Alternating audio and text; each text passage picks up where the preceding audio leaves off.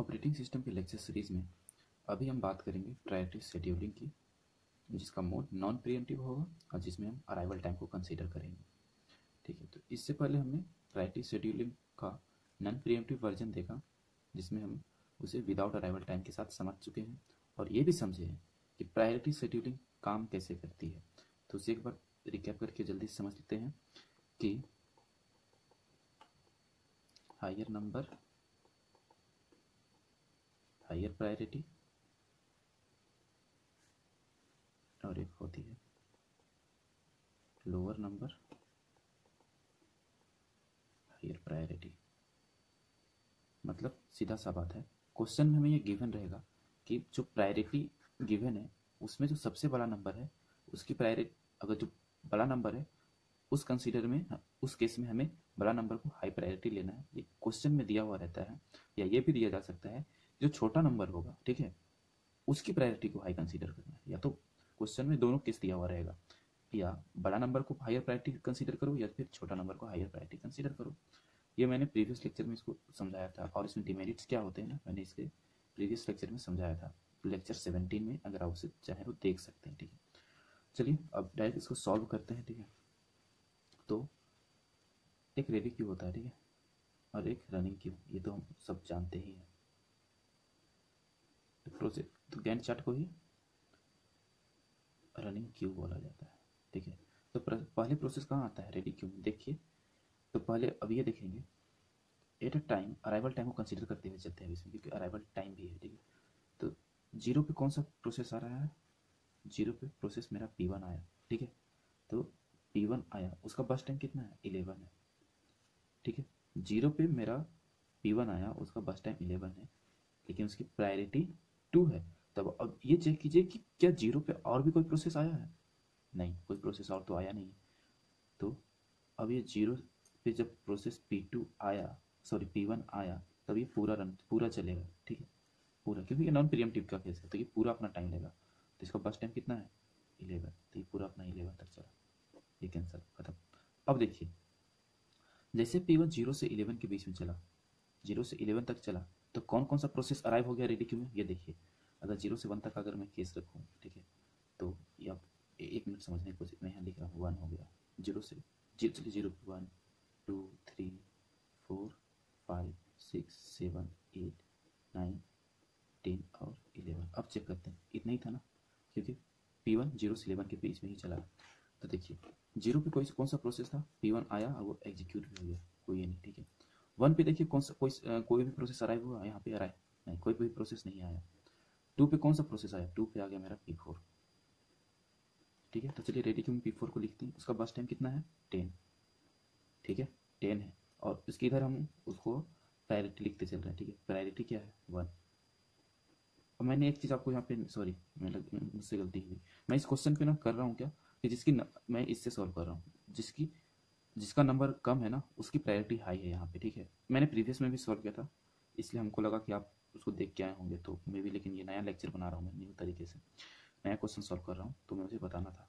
तो मैं यहाँ पे जिसका नंबर कम है ना उसकी प्रायोरिटी हाई रख रहा हूँ ठीक है? चलिए मैं यहाँ ब्रैकेट में प्रायोरिटी लिखते जा रहा हूँ क्योंकि टू पे पी फोर आ गया ठीक है? अब चेक करते थ्री पे कोई प्रोसेस आया? नहीं। फोर पे? नहीं। फाइव पे? हाँ फाइव पे कौन आया? पी टू आया है। पी टू का प्रायोरिटी कितना है? ज़ीरो पी टू की प्रायोरिटी ज़ीरो है। इसको मैं कुछ इस तरीके से लिखता हूँ। One P four ten zero P two burst time कितना है इसका? ट्वेंटी एट देखिए, जो वन पहले लगा ना, उसकी प्रायोरिटी बता रहा है। पी फोर प्रोसेस का नाम और टेन उसका बस टाइम ज़ीरो प्रायोरिटी बता रही है। पी टू प्रोसेस है। ट्वेंटी एट बस टाइम है। चलिए वैसे चेक करते हैं। सिक्स पे कोई प्रोसेस अराइव हुआ? नहीं। सेवन पे? नहीं। एट पे कोई प्रोसेस नहीं है। नाइन पे हाँ है। नाइन पे कौन सा प्रोसेस है? पी फाइव है। P five. चलिए, फिर पी फाइव है ना? तो पी फाइव, उसका प्रायोरिटी कितना है? फोर।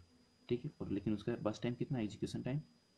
सिक्सटी जो मैं एग्जीक्यूशन टाइम कभी कभी बोल रहा हूँ ना तो बस टाइम और एग्जीक्यूशन टाइम सेम ही होता है। ठीक है? चलिए, टेन पे कोई आया? नहीं। इलेवन पे? इलेवन पे भी कोई नहीं है। तो ज़ीरो से इलेवन के बीच में देख रहे तीन प्रोसेस मेरे रेडी क्यू में आ चुके हैं? पी फोर पी टू और पी फाइव अब सारा प्रोसेस तो रेडी क्यू में है? अब इसको चेक कैसे करेंगे? इसको चेक करेंगे प्रायोरिटी वाइज ठीक है? प्रायोरिटी तो देख रहे पी फोर की प्रायोरिटी वन है पी टू की ज़ीरो है पी फोर की फोर है। नहीं सॉरी पी फाइव की फोर है। तो हम देख रहे हैं क्या? लोअर नंबर हायर प्रायोरिटी तो सबसे कम नंबर किसका है? पी टू अब यहाँ पे पी टू गया। पी टू ट्वेंटी एट तक चलेगा। क्यों? क्योंकि ये नॉन प्रियमटिव का केस है। मतलब एक बार जब चला गया सीपीयू में, वो पूरा अपना टाइम लेगा। तो ट्वेंटी एट प्लस इलेवन कितना देर चलाइए? थर्टी नाइन अब देख रहे हैं थर्टी नाइन के बीच में लगभग सारा प्रोसेस आ चुका है, क्योंकि ट्वेल्व थर्टी नाइन से कम है और कोई प्रोसेस कोई अराइवल टाइम अब इससे बड़ा या छोटा नहीं है, ठीक है? तो अब यहाँ पे मेरा ये पी टू गया। तो अब मेरे पास है पी फोर टेन उसका प्रायोरिटी वन है। फोर प्रायोरिटी के साथ पी फाइव है बस टाइम लिए हुए सिक्सटीन अब ये भी आ गया पी थ्री भी थ्री के साथ। थ्री है और उसका प्रायोरिटी थ्री है और P three three P three का प्रायोरिटी थ्री है और उसका बस टाइम टू यहाँ बस टाइम कंसिडर नहीं होगा, यहाँ पे कंसिडर होगा प्रायोरिटी देखिए पी फोर पी फाइव और पी थ्री में सबसे ज़्यादा प्रायोरिटी किसकी है? तो पी फोर की, क्योंकि जितना कम नंबर रहेगा प्रायोरिटी उतना ज़्यादा। तो पी फोर गया आप। पी फोर कितना बार चले? एग्जीक्यूशन टाइम कितना है? टेन है। तो thirty nine plus ten forty nine हो गया, ठीक है? चलिए, ये भी ख़त्म हो गया। अब पी फाइव और पी थ्री में प्रायोरिटी सबसे ज़्यादा किसका है? पी थ्री का। पी थ्री ये कितना चलेगा? टू यूनिट ऑफ़ टाइम तो ये फिफ्टी वन हो गया। चलिए लास्ट फिर पी फाइव बचा।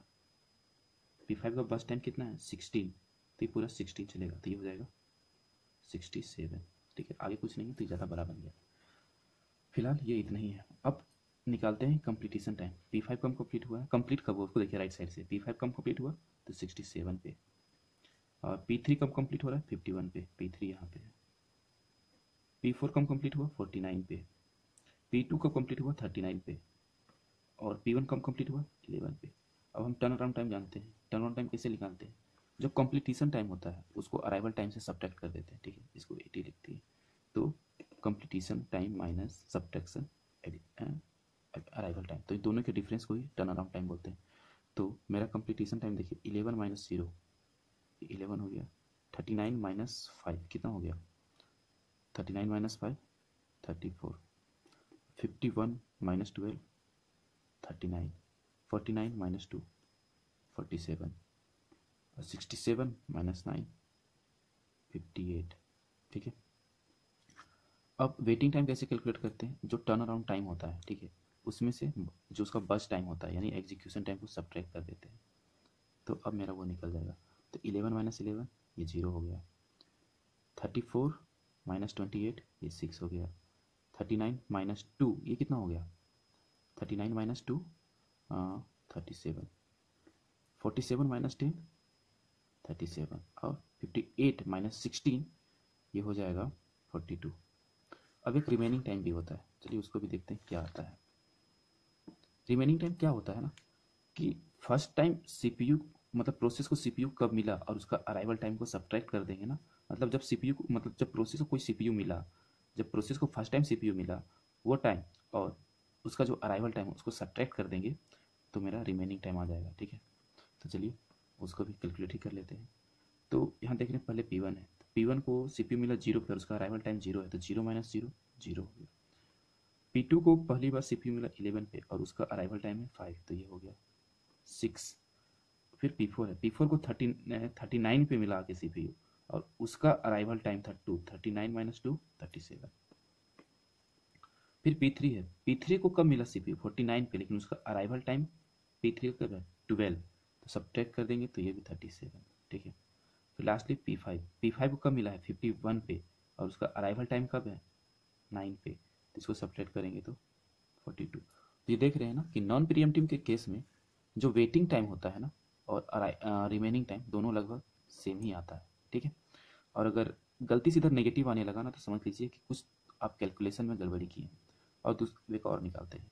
ये अगर इसको कैलकुलेट करेंगे तो टोटल टर्न अराउंड टाइम निकल जाएगा। इसको कैलकुलेट करेंगे तो टोटल वेटिंग टाइम निकल जाएगा। और इस टोटल टर्न अराउंड टाइम को नंबर ऑफ़ प्रोसेस से डिवाइड कर देंगे। मतलब कितना नंबर ऑफ़ प्रोसेस पाँच।